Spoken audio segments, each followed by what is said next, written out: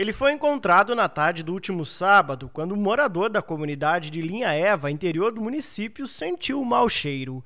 Ao verificar, encontrou o corpo de um homem amordaçado com as mãos e tornozelos amarrados. Ele foi encaminhado ao Instituto Médico Legal de Francisco Beltrão sem identificação.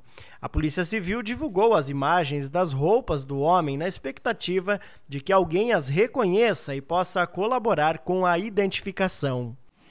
A Polícia Civil já está investigando o caso e agora trabalha para localizar os autores ou o autor pelo crime e descobrir como tudo aconteceu. Mas para isso, a identificação do corpo é primordial para ouvir testemunhas e elucidar o crime.